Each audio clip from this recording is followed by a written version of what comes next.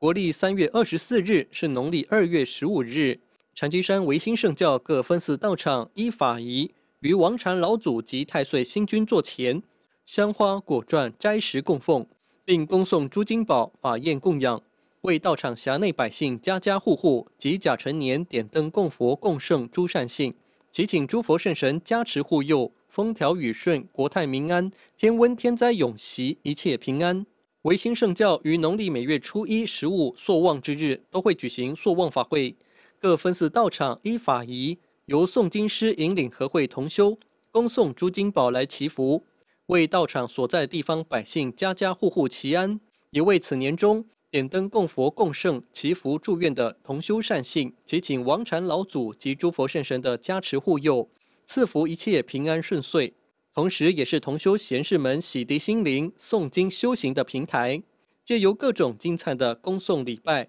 洗脱尘世污垢的积累，正是时时勤拂拭、勿使惹尘埃的修行。欢迎贤士同修及有缘大众前来参与塑望法会，为自己祈安植福、增福慧，也为社会大众祈太平。维新电视综合报道。